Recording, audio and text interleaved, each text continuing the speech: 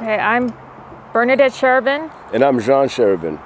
Um, we chose 3D Solar, um, actually recommendation from uh, staff where I work at. There's three or four people that actually picked 3D Solar and uh, they had great experiences. The reason why I signed up is um, they were saying that they had very, very low power bills um, and the representative, Chris Lawless, um, was awesome. So we talked with him, we liked him a lot, and uh, we're looking forward to the low power bills. My experience is a little different. I've been on the hunt for a while because I thought it was a good idea to go solar. And all the people that we brought over, that was government funded solar people, we didn't care for them until Chris came along and he said, we sat down with him, he explained everything to us, what they would be doing, how they would do, it, how long it would take. And I was impressed with what he had to say and what he was offering.